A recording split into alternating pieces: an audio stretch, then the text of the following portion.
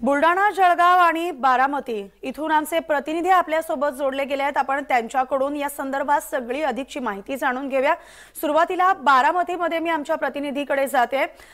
बारामतीतली सध्या स्थिती काय आहे? कारण रविवारी मतदान झालेलं आहे. आता मतमोजणी होणार आहे. कधीपासून ही मतमोजणी सुरू होणार आहे? नक्कीच आज बारामती तालुक्यातील बत्तीस ग्रामपंचायतच्या निवड निवडणुकीचा मतदान प्रक्रिया हे काल पार पडलेली आहे. आणि आज आज मतमोजणीला दहा वाजता सुरू होणार आहे. या ठिकाणी नऊ टेबल असणार आहेत. आणि या नऊ टेबल वरती प्रत्येक गाववर फेऱ्या नऊ फेऱ्या होणार आहेत. आणि यामध्ये प्रत्येक फेरीमध्ये जे गाव दिलेले आहेत त्या गावांच्या मतमोजणीला सुरुवात होणार आहे. आपल्या बरोबर बारामतीचे निवडणूक निर्णय अधिकारी आहेत. त्यांच्याशी आपण बातचीत करणार आहोत. या ठिकाणी आज मतमोजणीला सुरुवात होत आहे. कशा पद्धतीने व्यवस्था केली आहे तुम्ही? आज आपल्याकडं सार्वत्रिक निवडणूक दोन हजार तेवीस हो, बारामती तालुक्यात एकतीस ग्रामपंचायतीसाठी मतमोजणी होते. त्याच्यामध्ये आपण नऊ फेऱ्यामध्ये अठरा टेबलवरती ग्रामपंचायत न्याय नियोजन केलेलं आहे. त्यामध्ये उमेदवारांना आणि उमेदवाराचे प्रतिनिधी त्यांना आपण कक्षामध्ये प्रवेश देणार आहोत. आणि या फेऱ्यामध्ये आपण मतमोजणीची प्रक्रिया करतो प्रत्येक टेबलवरती आपण तीन कर्मचारी नेमलेले आहेत. निवडणूक निरीक्षक आणि त्याला साहेब सोबत त्याच्यासाठी एक शिपाई अशा पद्धतीचे आपण प्रॉपर नियोजन केलेलं आहे आणि आपले निवडणूक निर्णय अधिकारी प्रत्येक ग्रामपंचायतीसाठी स्वतंत्र. नवनाथ तुमचा आवाज व्यवस्थित माझ्यापर्यंत पोहोचत नाही त्यामुळे तुम्हाला थोड्या वेळासाठी मी थांबवते. आपण बुलढाणामध्ये जाऊया. आपले प्रतिनिधी प्रफुल्ल खंदारे आपल्यासोबत जोडले गेले आहेत. प्रफुल्ल बुलढाण्यामध्ये काय स्थिती आहे? कारण काल मतदान झालेलं आहे. आज मतमोजणी होणार आहे. कसा नागरिकांचा तिथल्या उत्साह आहे? आणि ही मतमोजणी कधीपासून सुरू होणार आहे? मिनल बुलढाणा जिल्ह्यामध्ये तब्बल अठ्ठेचाळीस ठिकाणी सार्वत्रिक ग्रामपंचायतीच्या निवडणुकांसाठी काल मतदान झालेलं आहे. तर दहा ठिकाणी पोटनिवडणुकीसाठी देखील या ठिकाणी मतदान प्रक्रिया पार पडलेली आहे. आज बुलढाणा जिल्ह्याच्या तेराही तालुक्यामध्ये मतमोजणीची प्रक्रिया दहा वाजल्यापासून सुरू केली जाईल. मात्र ह्या ग्रामपंचायतीच्या निवडणुकाकडे यंदा आगामी लोकसभा आणि विधानसभेच्या निवडणुकीच्या दृष्टिकोनातून राजकीय पक्षांनी ही निवडणूक या ठिकाणी प्रतिष्ठेची या ठिकाणी केली होती. लोकसभा आणि विधानसभेची रंगीत तालीम म्हणून या ग्रामपंचायतीच्या सार्वत्रिक निवडणुकांकडे पाहिल्या जाते. महत्वाची बाब म्हणजे थेट सरपंच जो आहे तो जनतेतून निवडून जातोय. त्यामुळे प्रत्येक पक्षाने या ठिकाणी पूर्ण आपली जी शक्ती आहे या ठिकाणी पणाला लावलेली होती. बुलढाणा जिल्ह्यातील शिंदे गटाचे खासदार प्रतापराव जाधव आहेत. त्यांचा जो गड मानला जातो मेकर आणि लोणार तालुक्यात त्या ठिकाणी मोठ्या प्रमाणामध्ये त्यांना थेट लढत जी आहे ते महाविकास आघाडीच्या पक्षांसोबत या ठिकाणी द्यावी लागली आहे. तर इतर ठिकाणी महाविकास आघाडी विरुद्ध भाजप असाच हा थेट सामना जो आहे या ग्रामपंचायत या निवडणुकीमध्ये आपल्याला असल्याचा पाहायला मिळालेला आहे.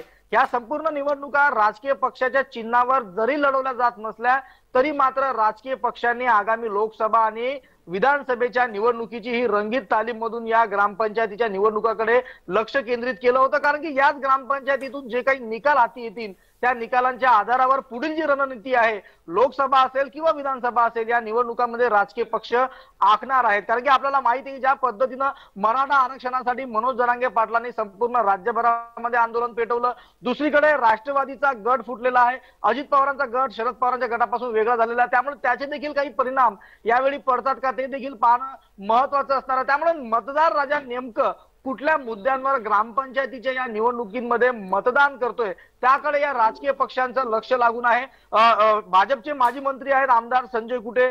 त्याचबरोबर या दुसऱ्या बाजूला आपण जर का विचार केला तर राष्ट्रवादीचे अजित पवार गटामध्ये गेलेले डॉक्टर राजेंद्र शिंगणे आहेत. हे बडे नेते जे आहे सध्या निवडणूक रिंगणामध्ये प्रत्यक्ष या ठिकाणी सहभागी झाले नसले तरी राजकीय जो पेच आहे तो पेच सोडवण्याकरता आता बऱ्याच ठिकाणी राजकीय पक्षांकडून प्रयत्न केले गेलेले आहेत. आपले समर्थन असलेले अनेक पॅनल जे आहे ग्रामपंचायतीमध्ये उभे केलेले आहे वंचित बहुजन आघाडीचा एक मोठा फॅक्टरही ग्रामीण भागातील या ग्रामपंचायतीच्या निवडणुकामध्ये महत्त्वाचा असतो. अशोक सोनवणे स्थानिक नेते आहेत. त्यांची देखील प्रतिष्ठा या संपूर्ण निवडणुकीमध्ये पणाला लागल्याचं चित्र जे आहे ते या निवडणुकीच्या मतदान जी प्रक्रिया राबवली गेली त्यामध्ये पाहायला मिळालेलं आहे. मात्र आज प्रत्यक्षात दहा वाजता या संपूर्ण मतमोजणीला सुरुवात होईल आणि अवघ्या दोन तासामध्ये हे संपूर्ण ग्रामपंचायतीच्या निवडणुकीचे निकाल जे आपल्या हाती येणार आहे त्यामुळे नेमकं मतदार राजा कुणावर प्रसन्न झाला कुठल्या मुद्द्यावर मतदार राजाने मतदान केलेलं आहे ह्या संपूर्ण गोष्टी स्पष्ट होणार आहे. आणि त्यानंतर राजकीय पक्ष याच ग्रामपंचायतीच्या निवडणुकीतून जे काही उमेदवार निवडून येतील किंवा मतमोजणीनंतर जे काही चित्र स्पष्ट होईल त्याच्या आधारावर आपले पुढच्या जे काही निवडणुका आहे त्याची रणनीती जी आहे मिनल आखणार आहे. त्यामुळे अत्यंत महत्वाची आणि प्रतिष्ठेची ही निवडणूक मानली जाते प्रफुल्ल तुम्हाला थोड्या वेळासाठी थांबवते. तुमच्याकडे मी पुन्हा येते. मात्र आता जळगावमध्ये जाऊया. आपले प्रतिनिधी जुगल पाटील त्या ठिकाणी आहेत. आपण जळगावमध्ये देखील माहिती त्यांच्याकडून जाणून घेऊया. जुगल काय सांगाल? आज मतमोजणी आहे. एकूणच ग्राम पातळीवरती काल जे मतदान झाले त्याची आज मतमोजणी होणार आहे. कशा प्रकारचं वातावरण त्या ठिकाणी आहे? कशा प्रकारची परिस्थिती त्या ठिकाणी सध्या आहे? मिनल जळगाव जिल्ह्याचा विचार केला तर जळगावमध्ये एकशे सदुसष्ट ग्रामपंचायतीपैकी सोळा ग्रामपंचायत ह्या बिनविरोध झाल्या होत्या. त्यापैकी एकशे एक्कावन्न ग्रामपंचायतीसाठी ही निवडणूक घेण्यात आली होती आणि मोठा उत्साह मतदारांमध्ये दिसून येत होता. जवळपास सत्याहत्तर पॉईंट तेहतीस टक्के जळगाव जिल्ह्यामध्ये हे मतदान झालेलं आहे. आणि एकंदरीतच जर विचार जळगाव जिल्ह्याचा विचार केला मंत्री गिरीश महाजन असतील मंत्री गुलाबराव पाटील असतील मंत्री अनिल भाईदास पाटील असतील माजी मंत्री एकनाथराव खडसे यांची प्रतिष्ठापनाला असून ही निवडणूक जरी पक्ष चिन्हावर होत नसली मात्र आगामी निवडणुकांचे कौल या ग्रामपंचायतीच्या निवडणुकांपासून बांधले जातात. आणि एकंदरीतच विषय केला तर राष्ट्रवादीमध्ये फुटल्यानंतर प्रथमच ही ग्रामपंचायतीची निवडणूक आहे आणि मोठ्या उत्साहाने ही निवडणूक पार पडली होती. आणि थोड्याच वेळात या ठिकाणी मतदान प्रक्रिया मतमोजणी प्रक्रिया ही सुरू होणार असून प्रशासन आपण पाहू शकतात प्रशासनाच्या वतीने मोठी तयारी या ठिकाणी करण्यात आलेली आहे. एक लवकरात लवकर कसा निकाल दिला जाईल याकडे लक्ष लागलेलं आहे. जवळपास एक तासाच्या आत हा निकाल दिला जाईल. त्याचप्रमाणे मोठी जय्यत तयारी ही प्रशासनाच्या वतीने करण्यात आलेली आहे. नीलम. जुगल त्या ठिकाणी कोणत्या मोठ्या राजकीय नेत्यांच्या प्रतिष्ठापणाला लागल्यात आणि जळगाव मधल्या मूळ समस्या काय आहेत ज्या नागरिकांकडून समोर येत आहेत आणि त्या त्या समस्या जाणून घेऊन त्यांनी काल मतदान केलेलं आहे अशा कोणत्या मोठ्या समस्या जळगावमध्ये जाणून येत आहेत? जळगाव जिल्ह्यातील जो रखडलेला विकास आहे त्याचप्रमाणे या रखडलेल्या विकासासाठी जेही काही असतील त्या त्यासाठी ही निवडणूक झाली होती आणि त्याच प्रकारे बघितलं मंत्री गिरीश महाजन यांची प्रतिष्ठापनाला आहे. मंत्री अनिल भाईदास पाटील मंत्री गुलाबराव पाटील यांची प्रतिष्ठा पणाला असून माजी मंत्री एकनाथराव खडसे यांची प्रतिष्ठा देखील पणाला आहे. आणि नेमका मतदार राजा कोणाला कौल देतो हे पाहणं महत्वाचं ठरणार आहे. निलम. जुगल थोड्या वेळासाठी तुम्हाला थांबवते. आपण बुलढाण्यामध्ये जाऊया. प्रफुल खंदारे आपले प्रतिनिधी त्या ठिकाणी आपल्यासोबत जोडले गेलेत.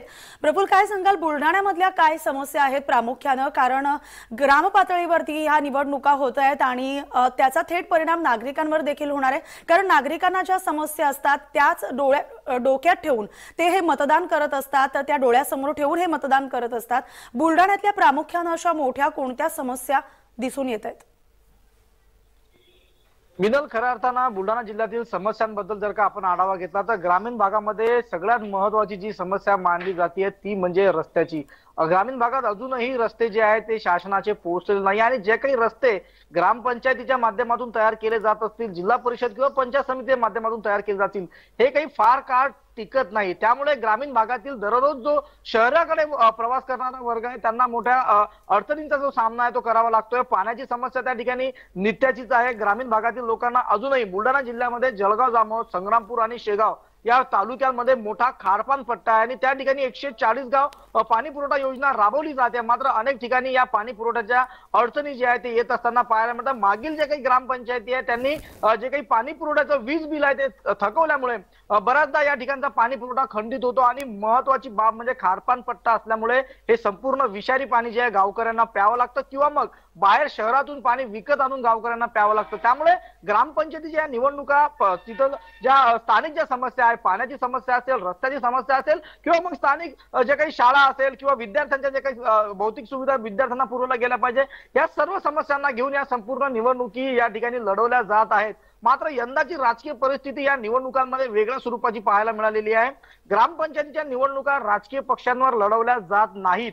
मात्र आगामी लोकसभा आणि विधानसभेची ही रंगीत तालीम मानला गेलेली आहे आणि राजकीय पक्षांनी पहिल्यांदाच अशा पद्धतीनं ग्रामपंचायतीच्या निवडणुकीमध्ये संपूर्ण शक्ती जी आहे ती पणाला लावल्याचं चित्र जे आहे ते बुलढाण्यात पाहायला मिळालं. कुठल्याही परिस्थितीमध्ये ह्या ग्रामपंचायती आहे त्यावर थेट जनतेतून निवडून जाणारे सरपंच आहे ते आपल्या अधिपत्याखाली असले पाहिजे. कारण की हेच उद्या कार्यकर्ते म्हणून या लोकसभा आणि विधानसभा निवडणुकीमध्ये त्यांच्या कामी पडणार आहेत त्यांच्या प्रचारासाठी कामी पडणार आहेत. त्यामुळे राजकीय पक्षांनी आपले उमेदवार हेरून त्यांना त्या ठिकाणी संधी दिलेल्या आहेत. त्यांच्यासाठी संपूर्ण शक्ती जी आहे जी काही राजकीय डावपेच आहे ते राजकीय डावपेच अगदी प्रफुल्ल त्यामुळे अवघ्या.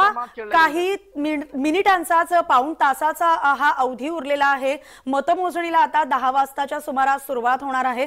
तुम्ही या सगळ्या मतमोजणीकडे असंच लक्ष ठेवून राहा. तुमच्याकडून आम्ही या संदर्भात वेळोवेळी जाणून घेत राहू. आपल्यासोबत जळगाव मधून आमचे प्रतिनिधी जुगल पाटील जोडले गेले होते बुलढाण्यामधून प्रफुल्ल खंदारे जोडले गेले होते आणि बारामतीमधून नवनाथ बोरकर यांच्याशी आपण चर्चा केलेली आहे. तुम्हाला तिघांनाही धन्यवाद.